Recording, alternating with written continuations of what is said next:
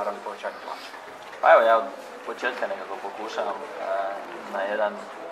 smatram, argumentiran i, i, i staložen i na način ukazati upravo na, na tu problematiku.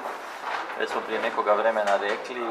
predloženo povećanje osnovice koje bi trebalo biti, ja bih rekao, jasan signal i pokazatelj svim zaposlenicima državnih javnih službi da ova vlada od početka vodi brigu o njima, o njihovom materijalnom statusu, položaju i općenito o kvaliteti njihove usluge, jer sa adekvatnom i kvalitetnom politikom plaće jedino tako možemo između ostaloga osiguravati i adekvatnu kvalitetu usluge koju dobijamo od različitih segmenta državnih javnih službi. Ali isto tako ponukani brojnim iskustvima iz prošlosti, a sada smo se, ja bih rekao, apsolutno svi. Jer mislim da smo stvarno sada svi, ne samo mi kao nositelji izvršne vlasti, ne samo sindikalni čelnici i ne samo zaposlenici državnih javnih službi, nego ja bih rekao zaista širi djelokrug, svi građani i porezni obveznici upoznali koliko je taj sustav kompleksan,